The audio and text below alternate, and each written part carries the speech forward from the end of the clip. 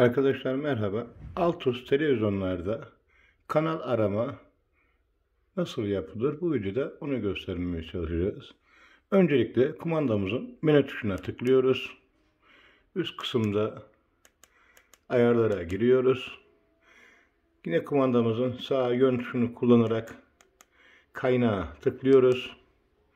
Kaynağa geldiğimizde otomatik kanal arama OK'ye basıyoruz. Uydu OK'ye basıyoruz.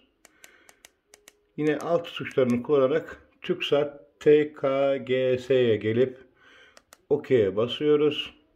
Buraya geldiğimizde bakın altta mavi tuş devam. Maviye basıyoruz.